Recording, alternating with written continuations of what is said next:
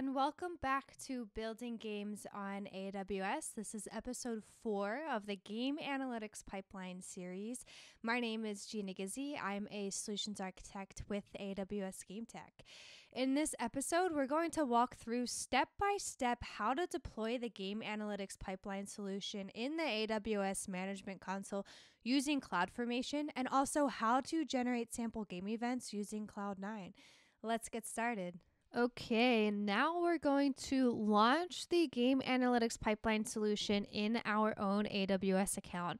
So click the link in the description to go to the landing page uh, for the Game Analytics Pipeline solution, which looks just like this. So it explains what the solution is. It does a solution overview uh, for the architecture, which is what we just went through. And it provides all of the links to relevant resources that you might need for deploying the solution and understanding how it works. For example, the source code which links to the GitHub repository for all of the source code, the ETL code, the Lambda code that's used in the solution. Uh, the CloudFormation template, if you want to download it and customize it yourself, uh, a link to the implementation guide. So, if you want to read through this guide, it will basically walk through step by step what we're going to be doing in the rest of this series. Um, but it also has really good information on, you know, what the solution is going to cost, what are the different components used in the solution, some implementation considerations, and more. So what we're going to do is launch this in the AWS console. So to do that, from the landing page, click this button that says launch in the AWS console and it will open up your AWS account. So it's either going to prompt you to log into your own AWS account or if you don't have one already, make sure to create one. And then once you're signed in, it will uh, open up the landing page for AWS CloudFormation which is uh, our service that allows you to execute infrastructure as code to deploy uh, AWS resources in an automated fashion. So just leave all of these configurations as default. The template is already provided for us, uh, and we specify the link to the template. This populates uh, by default, so we don't need to change anything here. So just click next. Enter a stack name. So we will name it the Game Analytics Pipeline. And here are some different parameters that you can customize for the solution. So the first one is enable streaming analytics, yes or no.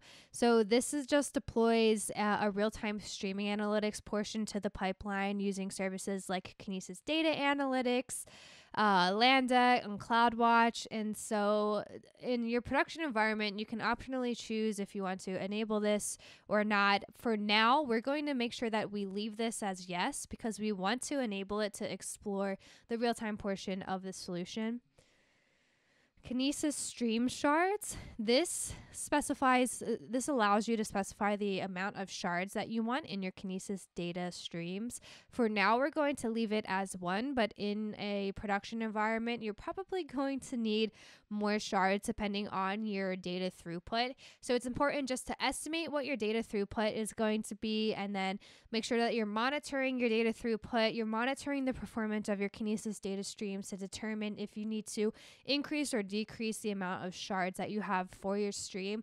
And I'll also link to a really good blog post that I just read that uh, you know goes into more detail about understanding how, when, and why to scale your Kinesis data stream. The next parameter is solution admin email address. So you can optionally choose to provide your own email address if you want to get notified when there's different alarms uh, through SNS or simple notification service. We're just going to leave this as false for now, but optionally choose to do this if you'd like. And then finally, there's solution mode. So there's two different modes that you can deploy the solution in. There's dev mode and prod mode. So for now, we're going to leave this in dev mode because we're not deploying the solution in a production environment right now. There are some small changes between dev and prod mode or some small differences.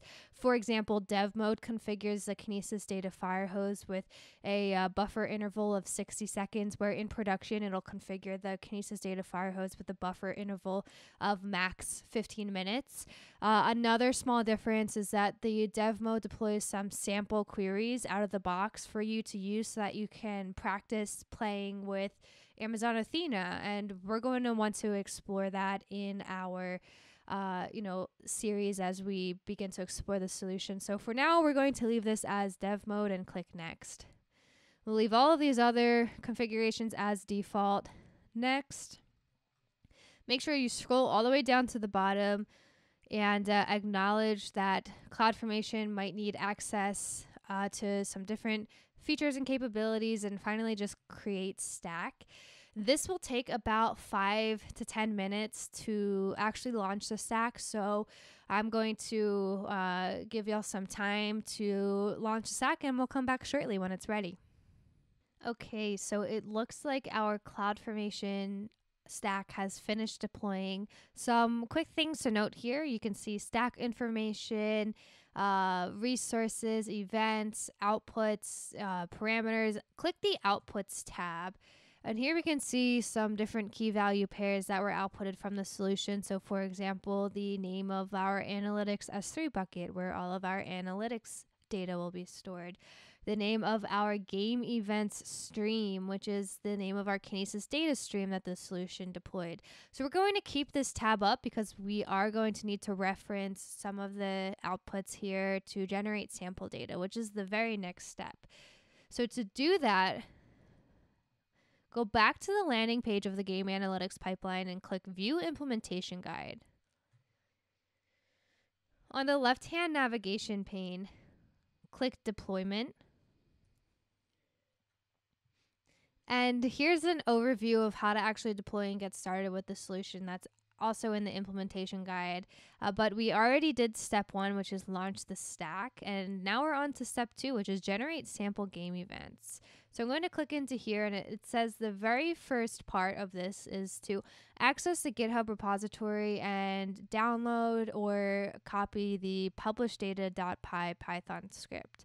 So I'm going to open the GitHub repository in a new tab it says that the script lives at source slash demo, that path. So I'm finding source, demo, and here's that published data Python script. I'm going to just leave this up. I'm not going to download the entire GitHub repository, but when it comes to it, I'm just going to copy and paste and create a new file.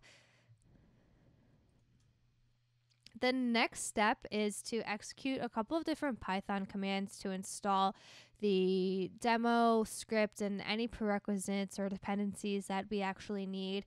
The easiest way that I like to do this, instead of doing it on my local machine, is to use Cloud9, which is an AWS service that's actually a browser based IDE or integrated development environment that allows me to do this in the cloud instead of on my local machine. So let's walk through how to set up a Cloud9 environment go t- back to your AWS console, uh, go to services and find Cloud9, a cloud IDE for writing, running, and debugging code. I'm going to open this up in a new tab. It says, Welcome to Cloud9. So let's create an environment here.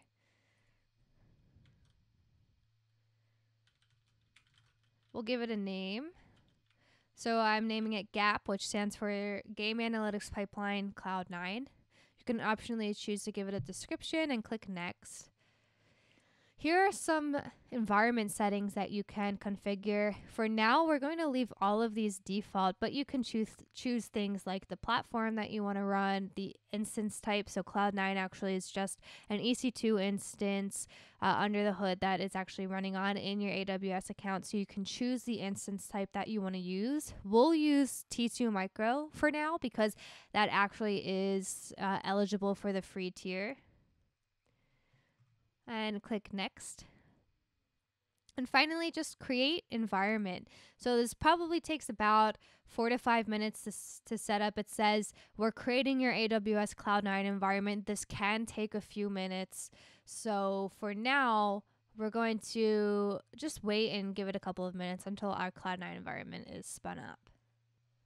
Okay, so it looks like our Cloud9 environment is spun up and it should look something similar to this. So what I'm going to do, and instead of downloading this entire GitHub repository, I'm just going to copy uh, all of the code that's in this file here.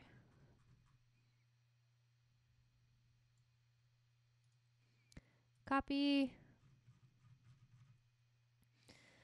In Cloud9, I'm going to click File, New File, and just in the root directory, I'm going to paste this all and uh, File, Save As, and we'll save it as the same thing. So publish underscore data dot py and uh, save.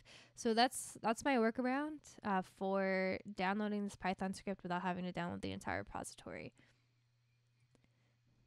So going back to the step-by-step deployment guide, the next portion is to run the following Python commands to install the script and any dependencies that we need. So uh, if you just copy these commands, there's a little copy button right here.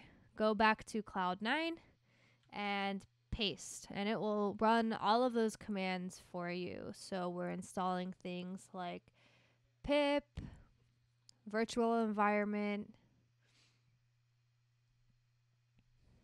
I'll run that last one.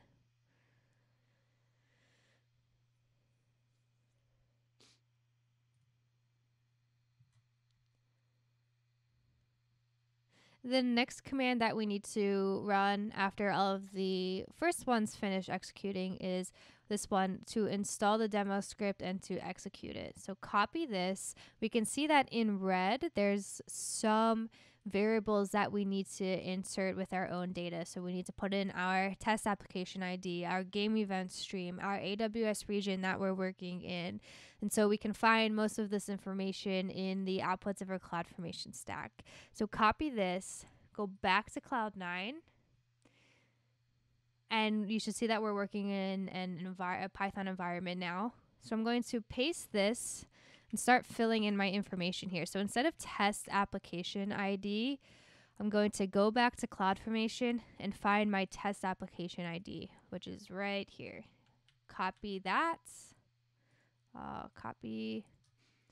I'll paste that. Next, we need the game events stream name, which is also found in the CloudFormation output. So game events stream name, copy. I'll uh, paste that. And then finally, we just need our AWS region that we're working on, working in. So you can work in any region that you want. Uh, but I believe any region that you want that supports all of the resources and services that are used in this uh, this game analytics pipeline solution.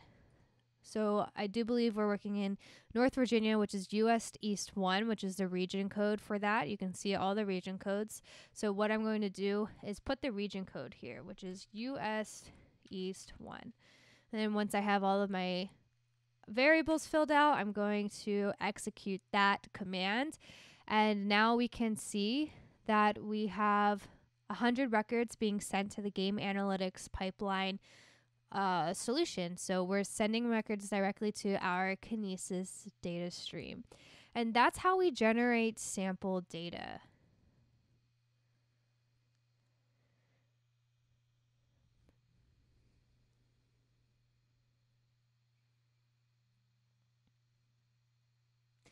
So leave this running for the duration of the time that you are working in this solution, but also make sure that once you're done messing around in the AWS console that you stop running this. Otherwise, the data will uh, keep generating and sending to your Kinesis data streams and it will cost you. The charge will add up. So make sure that you're just sending data when you need data to be sent. So for the duration of the series, we can send the data while we're doing real time and batch analytics. But when you're done, make sure that you stop sending data.